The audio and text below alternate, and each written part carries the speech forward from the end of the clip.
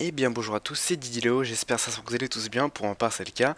Aujourd'hui j'ai vraiment hésité à faire cette vidéo mais je voulais quand même vous le partager ma nouvelle chaîne parce que je pense que ça pourra aider certains et je sais que certains me remercieront à l'avenir après avoir vu la, la chaîne.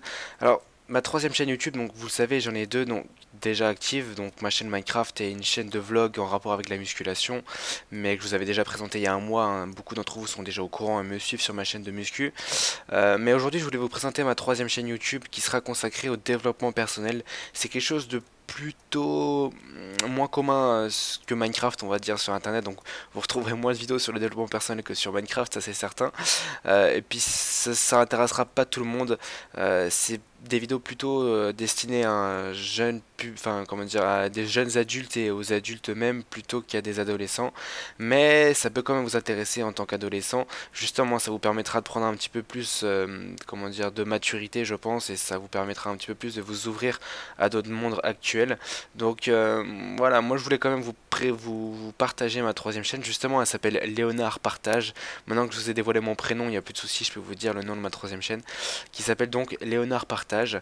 Euh, c'est vraiment, vraiment pas du tout comme le gaming ou comme mes vlogs musculation.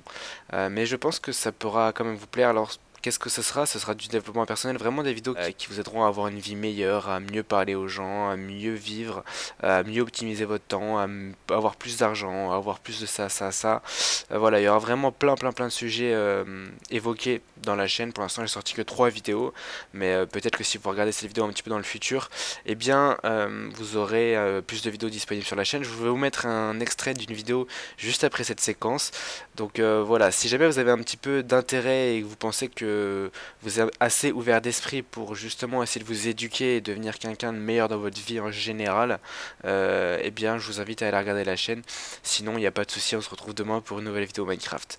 A tout de suite pour un extrait d'une vidéo. Le célèbre entrepreneur américain Jim Rohn a un jour dit que vous êtes la moyenne des 5 personnes avec qui vous passez le plus de temps. Et il y a beaucoup de vérité là-dedans.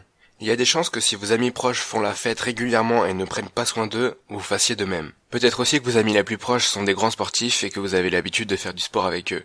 Une nouvelle fois, vous reflétez ce que vos amis font le plus. Évidemment, il y a des exceptions à tout ça, mais l'idée générale à comprendre est qu'il y a une part de vérité dans ce qu'il a dit. En tant qu'être humain, nous apprenons nos environs.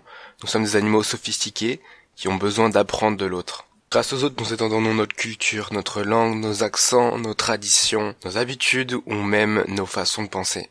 Vous remarquerez sans doute que vous adoptez les mêmes expressions de vos meilleurs amis et que cela se fait au bout de quelques jours. Nous nous mettons à penser plus ou moins la même chose qu'avec nos environs après quelques temps passés avec eux. Et c'est pourquoi sans trop de surprise la grande